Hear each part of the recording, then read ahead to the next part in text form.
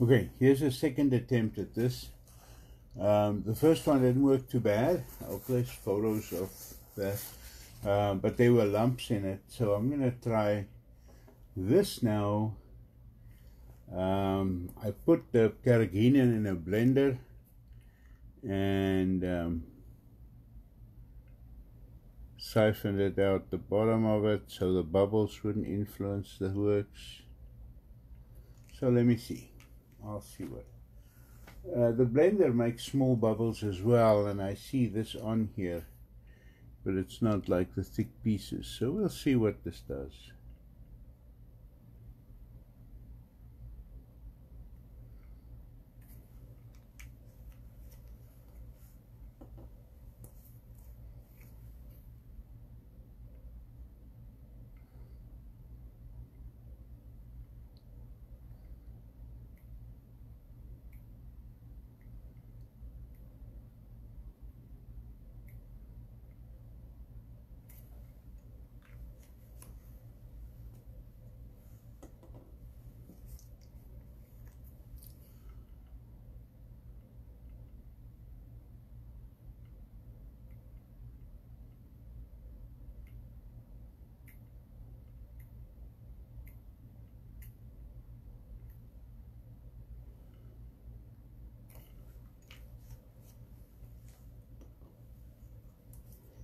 Okay, still not ideal. Here and there I see the ink drop to the bottom, which it shouldn't do. It should all be floating on top, but as I say, this is an experiment. I haven't done this for many, many years, so I'm hoping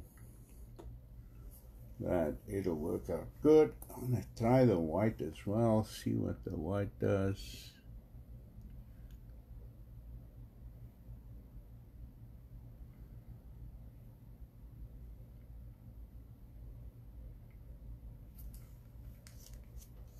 Okay, I think that's good. Now, let me try the comb again.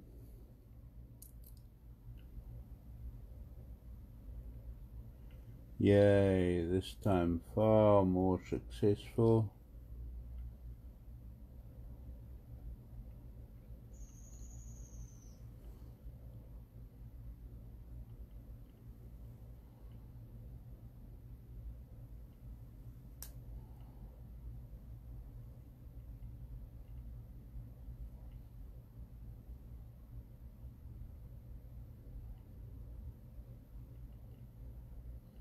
Oh yay, and that white really pops out.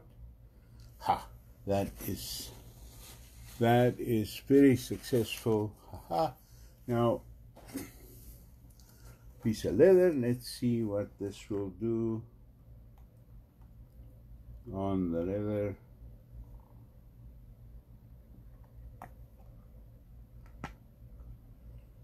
Piece is a bit big for container but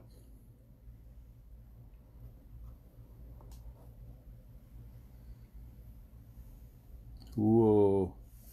That is nice. That is very nice. Ha ha ha. Okay I will go and wash this off and then I'll post two photos with the video. This time I'll remember to share the video